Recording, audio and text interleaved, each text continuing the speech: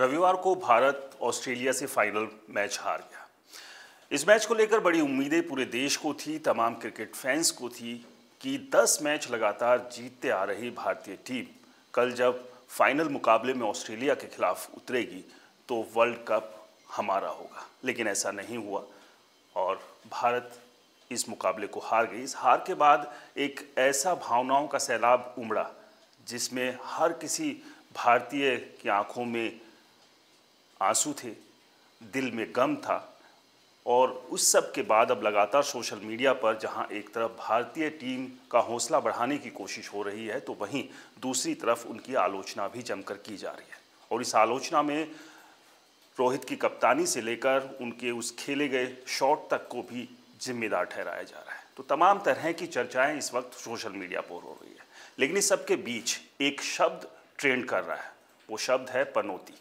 और ये पनौती शब्द किसके लिए कहा जा रहा है? वो दरअसल प्रधानमंत्री नरेंद्र मोदी के लिए कहा जा रहा है कि इस हार की पनौती अगर कोई है तो वो प्रधानमंत्री नरेंद्र मोदी है।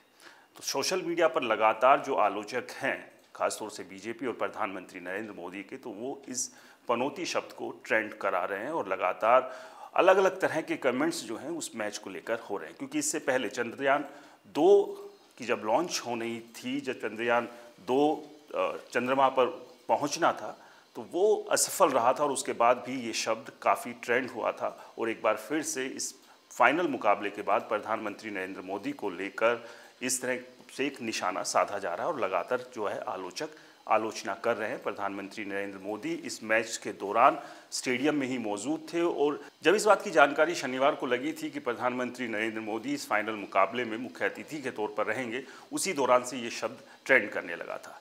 और अब इस पूरे मामले में राजनीति भी शुरू हो गई है। लगातार विपक्षी दल के जो नेता हैं, वो प्रधानमंत्री नरेंद्र मोदी नरेंद्र मोदी स्टेडियम को लेकर बयानबाजी कर रहे हैं, तंज कस रहे हैं। इसमें सबसे पहला नाम जो है, वो है बिहार के श्रम संसाधन मंत्री और आरजेडी नेता सुरेंद्र राम।